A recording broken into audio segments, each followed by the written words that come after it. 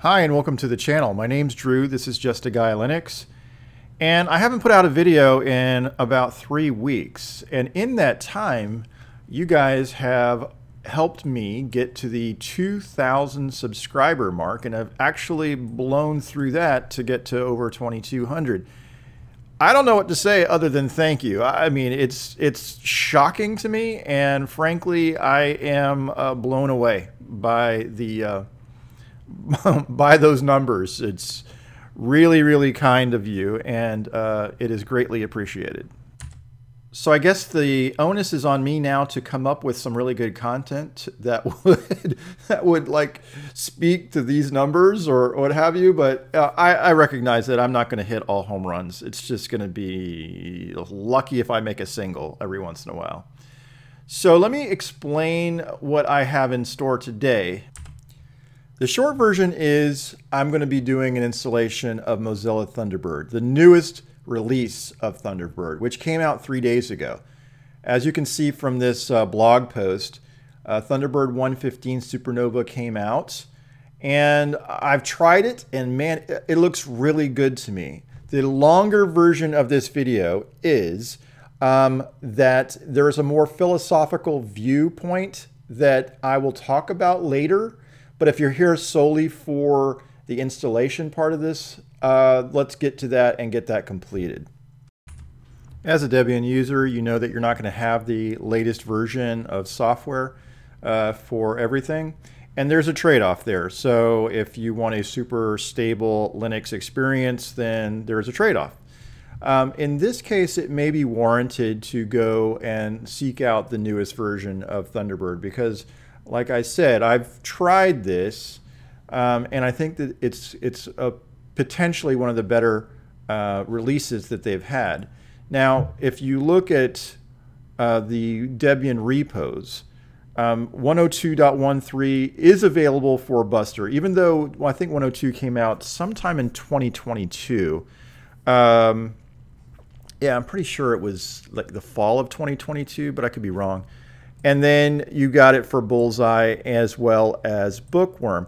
Now, I don't know. It's possible that 115 can be a, backport at some time in the future. That would be really helpful. Uh, but as of right now, it's in the experimental stage. So, um, for those of you that have um, enabled Flatpak, you'll also know that you do not have access to the newest version. I mean, like I said, it's only been three days. So it's fine. It probably will be coming out, you know, shortly. Uh, but if you are a little bit wanting to get to the latest version, you might want to just take a look at the installation script that I wrote. Now, I'm going to go ahead and go to, to a clean workspace and just open up a terminal and let's uh, just clear the screen. So I'm going to git clone and then go to my GitHub and then um, get the bookworm scripts. And there you go. And let's uh, clear the screen and say cd into bookworm scripts. And now let's ls. And then there's a Thunderbird, like I see, see here, there's a Thunderbird install and a Thunderbird remove in case you don't want to use it any longer. Um, let's look at the uh, Thunderbird uh, install script. Now, there's a temporary fix here. And the reason why I put it in as a temporary fix is that if you go to um, this, this should have worked, by the way. Uh, it should have been able to pull the latest version, which would make it kind of like you don't have to worry about version control because it's going to pick up the latest one. Well, if you try this particular command, uh, it's going to give you 102 still. So as a temporary fix, I have put this in to make sure that it's got it's going to bring you 115 to do the installation, okay? And then it's going to create a desktop file for you. So if I go and I look at my um, at my Rofi, you'll notice that there is no Thunderbird here. Okay, and then I'm going to uh, close, uh, oops, I'm going to go ahead and close this. And then I'm going to install Thunderbird uh, using this script. And let's authenticate. And that should be it. I say that, and then there's like one more tiny little step, right? And there you go. So now when I open up my Rofi, I'm going to see Thunderbird, and there you go. It's going to open it up. And I'm going to go ahead and, oh, it opened up another uh, tab in my Firefox, and that's fine. Um, so what I'm going to do here is kind of stop where I'm going to pause the video in case you wanting to, uh, if that's all that you wanted, um, then there you go. Okay, but there's like I said, there's a longer version to this, and if you're interested, I'm gonna I'm gonna keep going with uh, with that. Back in February, I was doing a series on DWM, and one of the commenters made mention that they appreciated uh, some of the suggestions that I was making about workflow and simplifying things. And so I not only did I appreciate that, but I thought to myself, you know, I try to make things easy on myself. And I am I've been part of the domain name industry for a really long time. And back in 2014, uh, Google was in kind of a prior to open beta test. I mean, they were in beta for a really long time, but before uh, they opened up the beta, uh, they had an invitation only, which I took part in. So I moved some of my domain names, if not all, to Google Domains and really became kind of entrenched in the Google ecosystem. It made sense because of, you know, it wasn't called Google Workspace at the time, but you get the idea. I had a lot of, you know, as far as email and everything, uh, and, and file sharing and so on and so forth, it just made sense.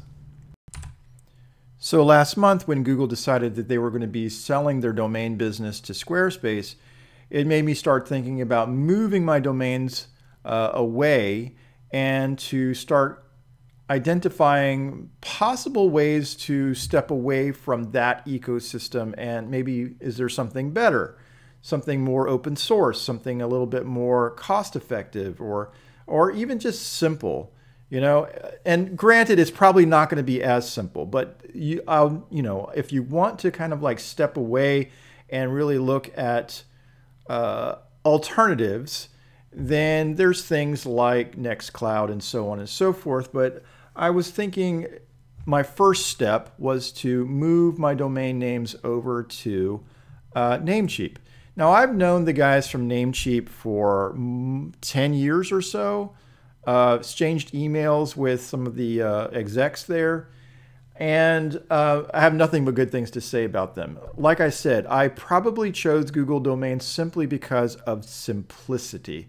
Um, and now I've moved a portion of my domain names over to Namecheap and have started to identify things that they can provide and then maybe all the other alternatives too. So one of the things that they have and I'm again, I'm not getting paid for this. I'm just, I just want to put that out there right now.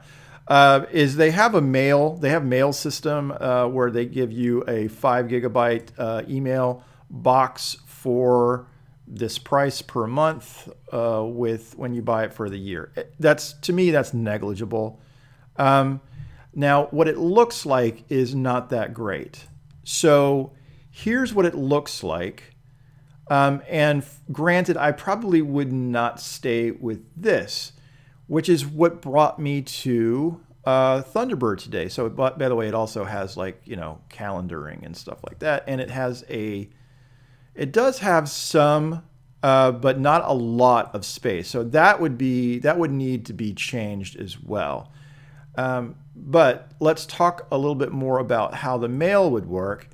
And since this is a video on Thunderbird, this is what it would look like if I just connected to that IMAP server using the Thunderbird 115 latest version. And to me, this is a, like a really good way to approach uh, having Thunderbird, which is open source, and then simply using an IMAP server that um, that's attached to my registrar. Now, again, this is me kind of like just having diarrhea mouth and just kind of saying all the things that I've been kind of like rolling around in my head. Uh, you know, like I said, it also has calendaring that can be synchronized and so and so on. But it's not the only game in town either. So let me go back over to uh, the the uh, to the inbox. It's fine. It's it's good. And in fact, I might end up going this route. But I wanted to also uh, look at some other things. Oh, by the way, so if I am talking about using Thunderbird for uh, desktop usage, uh, I installed K9, which I'm not going to be able to show you in this video, but I installed K9 for uh, my, um, my, my mobile phone, and that works well. You know, that works well. That's the bottom line. I don't know that it's developed as something like Thunderbird. Clearly, it is not, uh, but it is still good. Um, and but at the same time, I'm also looking at a web-based solution. I don't. It doesn't have to necessarily be web-based, but this looks really good. This Proton Mail. Um, it is open source. It is super secure when it comes right down to it. It is a little pricey, but um, if we're talking about uh, you know something within a you know with a dedicated domain name, you're talking about one custom email for the domain it's not that bad when you're talking about it 12 months. Um, it's 4.99 uh, if you're talking about it just like month to month, which is still not that bad when you're talking about uh, the alternative, which is like Google Workspace. The minimum amount is uh, six dollars, and then it goes up to you know 12 and beyond. Um, the one thing that I would have to solve also is using uh, Google Photos. So anyway. Uh, but this is kind of an interesting uh, alternative too this unlimited so even if like let's say you looked at buying 12 months worth uh, you would get 500 gigabytes of storage which really might put you in the type of range where you're um, able to do away with google drive now again these are uh, these are all ideas that i have so this was step one basically trying to identify things that I can do at a relatively low cost. I mean, like like I said before, if I'm using a dollar twenty-four a month, which is you know very little, and I'm using Thunderbird, that's it. And I've got you know like an open source uh, mail client uh, for both uh, desktop and Android. Um, and then with this, you're talking about the best security you have, an open source uh, um, email client, and it's really good. It's just a little on the pricey side. So if you have suggestions, if you've kind of changed your ecosystem or and and you know with file sharing and email and so on and so forth, and you have suggestions, feel free to leave them in the comments below. Otherwise, uh, thank you for your time and see you later.